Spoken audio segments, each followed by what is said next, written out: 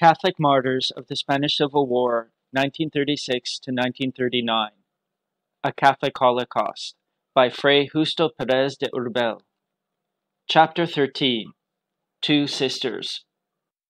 We have mentioned the Santina before. She is the Virgin of Covadonga, the beloved patroness of Asturias.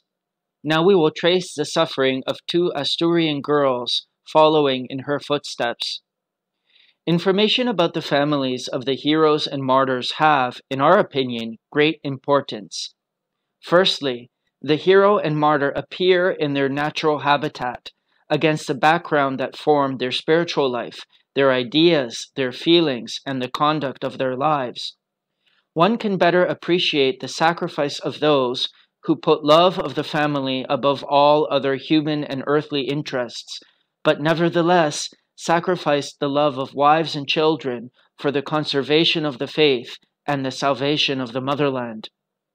Finally, these family scenes give us an idea of the exemplary moral fiber of the Spanish Christian family.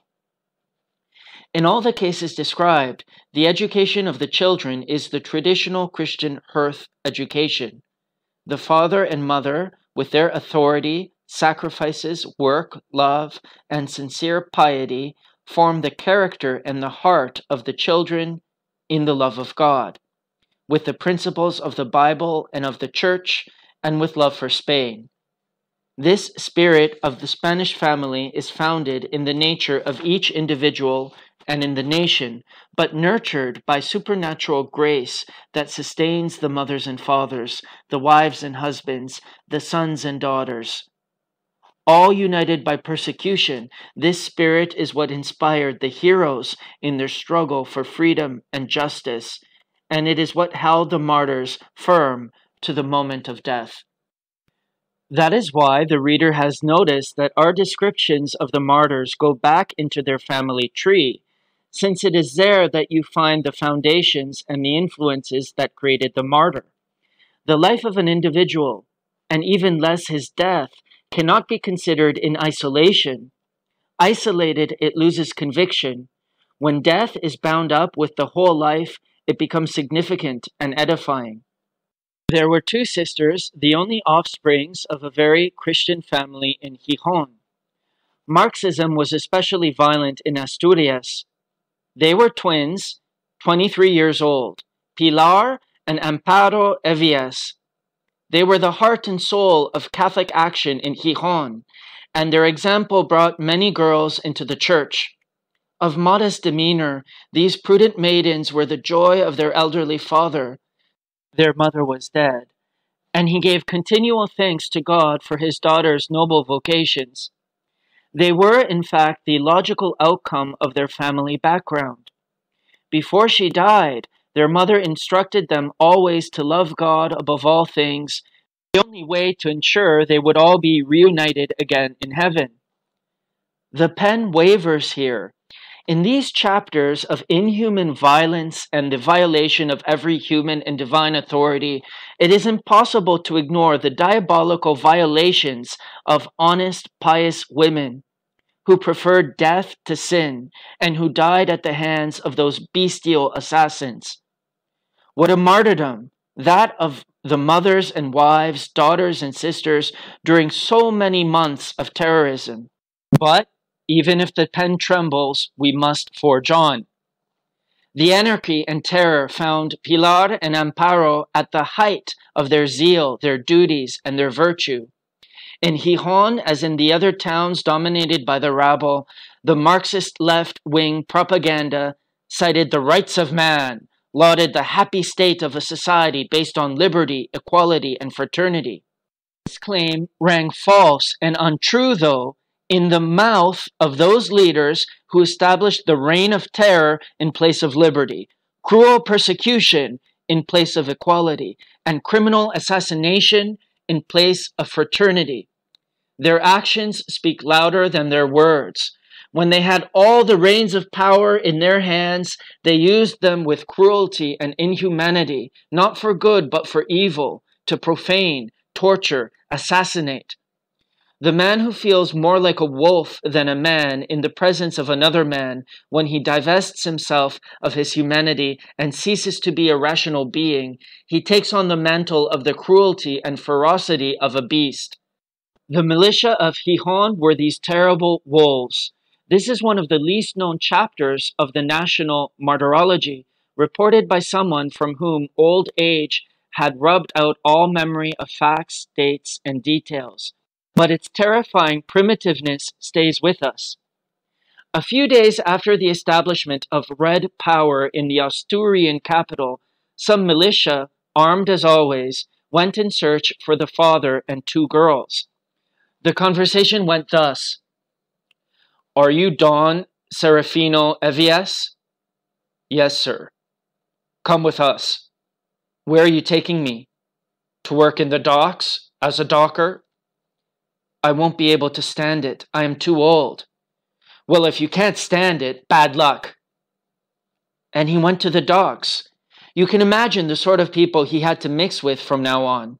He was the target of savage hatred, even more savage because there was no human reason to justify the animosity toward an old man who had been completely unknown up to then. He suffered ill treatment, ridicule, and blows. His daughters were distraught. Since they were also under threat, they did not dare leave the house. They couldn't even go out to get food.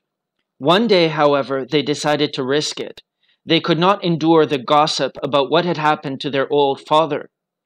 On the day he was taken away, they heard that he was being taken to work at the docks, and so Pilar and Amparo decided to go to the docks. They managed to find their father, his appearance and general state were dreadful. Burdened by the fatigue of work far greater than his strength, his eyes, his hands, and his whole body showed the slow martyrdom to which he was being subjected. They managed to talk to him. Think about it. An old man and his two daughters meet each other in totally abnormal circumstances. What may happen in the next hour or even the next minute is completely unknown to them. The omens were unfavorable. In fact, one must wonder what horror might follow if his present torture only continues. The scenario is far from hopeful. Don't come here again. I forbid it. There are dreadful people around here. We will come, and God willing, nothing will happen. We can bring you food and clothes. Don't come, said the old man for the last time. Then, to avoid suspicion aroused by his long visit and conversation, they separated. Once back home, Pilar and Amparo burst into tears of grief. Women well trained in fortitude, they had contained their horror while in the presence of their father. But now that there was no risk of their own grief augmenting that of an old man, they could let themselves go. It was a dreadful situation there at the unfriendly docks.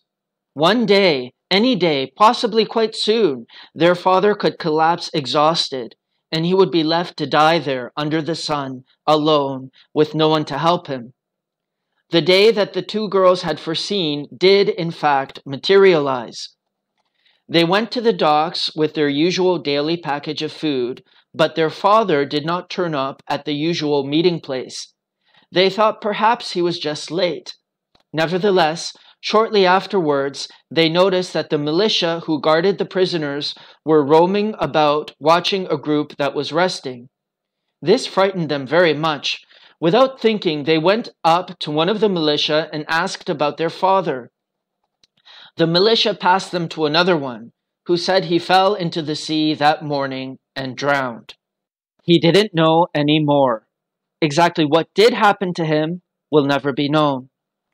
The two sisters were on their own.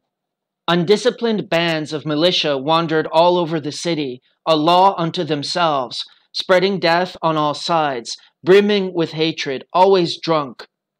The scene turns more somber day by day, gloomier, and at last, disaster. It happened like this. A slatternly neighbor of the sisters denounced them. Early the next day, the militia came for them. They broke down the door with their rifle butts and came into the house shouting. Pilar and Amparo were in bed. They dressed quickly and went out to confront the intruders. Without any explanation, they were taken away simply because that was what was required, without any concern for their rights. They were taken to the committee, where they had to endure obscene conversations that terrified them. We don't have to go into details, the reader can work it out. Two Christian maidens in the midst of an atheistic mob, satiated with wine, out of control, comprised of the lowliest strata of society, the reader can imagine the rest. At midday, they were forced to sweep and wash the floors of a cheka to which they had been transferred. A militia woman followed them with a stick, and if they showed any sign of fatigue, beat them furiously. She kept up a running discourse on the horrors awaiting them. After two hours of very hard work, they had finished the washing, and the woman guarding them said, Right, as you have behaved well, I will give you some food. In fact, she took them to a nearby tavern that sold food, and in front of the two exhausted girls, the woman had something to eat herself, but gave them nothing. Soon afterward, a couple of militia came in. They made some unpleasant suggestions. They resorted to brute force, accompanied by the diabolical cackling of the woman. Since the sisters defended themselves with vigor and energy, they were tied down, one after the other, and after their mouths had been forced open, an enormous quantity of wine was poured into them, enough to knock out a man, let alone refined ladies unaccustomed to drink. After a quarter of an hour, they had lost consciousness, and the militia carried out their fiendish purpose. This happened in Spain. In Spain in the 20th century, and not between different races, but between Spaniards. Between Spaniards. The persecutors and the persecuted were all Spaniards. This must not happen again. We repeat, it must not happen again. Some days later, Pilar and Amparo were found dead on the beach of San Lorenzo, each with a bullet in the chest.